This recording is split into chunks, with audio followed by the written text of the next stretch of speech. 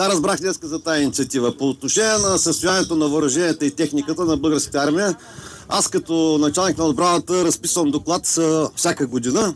Извършвам и анализи, ни непрекъснато извършвам такива анализи и докладвам на министра на отбраната, на държавното ръководство, кое е състоянието на въоръжението и техниката.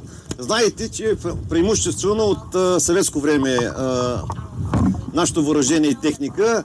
Затова е нормално някои системи и специално зенитно управляеми ракети да не, да не могат да се, да поддържат. Те не са много, те са няколко бройки.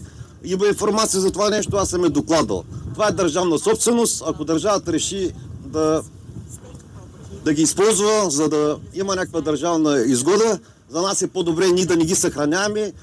Някой път е опасно да държим ги в различни складове. Не искам да сърчавам живота на личния став но не можем да ги ремонтираме. Имаме доказателства, документ, че не можем да ги ремонтираме.